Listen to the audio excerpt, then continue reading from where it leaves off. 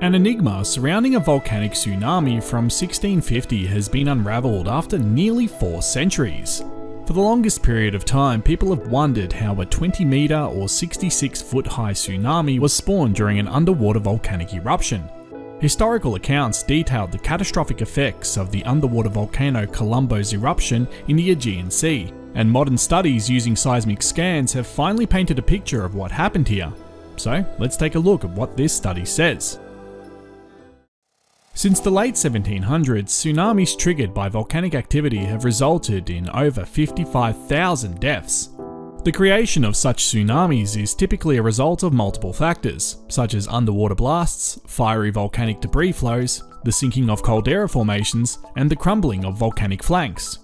Recent examples include the eruption of the volcano in Tonga during 2022 and the collapse of the Anak Krakatau volcano in Indonesia in 2018. Both events underscore the severe threat that volcanic eruptions pose in terms of tsunami generation, particularly in shallow waters and areas where the land meets the sea.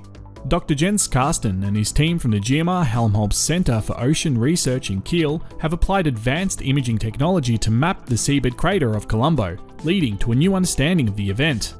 Their research, recently published in Nature Communications, confirms that the eyewitnesses' descriptions are consistent with the sequence of a landslide and subsequent eruption. This solves a nearly 4 century long mystery. The tsunami was birthed from a landslide above all else, and much like the flank eruption of Mount St. Helens, this induced an explosive eruption. Spectators from Santorini in 1650 witnessed the weeks long eruption, observing water discoloration and seawater boiling before witnessing the volcano's emergence.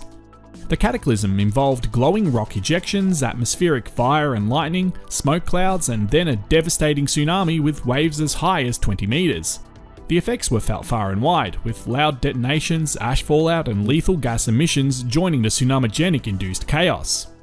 These detailed descriptions were preserved in 19th century compilations by a French volcanologist, and to decode the mystery of the tsunami and the volcano's explosive behaviour, Karstens, along with German and Greek colleagues, surveyed the site in 2019, utilising the then active research vessel Poseidon.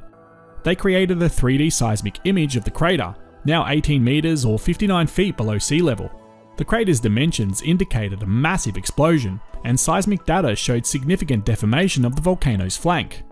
By comparing the historical accounts with modern seismic and simulation data, the team concluded that the tsunami's magnitude could only be a result of a landslide coupled with the eruption. Their combined research techniques revealed discrepancies with the expected wave heights and the actual historic tsunami, which were reconciled once the landslide was factored into the simulation. Karsten explains the instability of Kolumbo, likening the landslide induced eruption to uncorking champagne, this research not only sheds light on past events, but also informs future monitoring and potentially early warning systems for underwater volcanic activity. The study emphasises the significance of 3D marine reflection seismics, a method that produces seismic volumes for detailed subsea floor geological analysis, as opposed to the more traditional 2D seismics, enhancing our understanding of the Earth's underwater geological phenomena. And we can finally put to rest what happened during that chaotic week in 1650 to create such a large tsunami.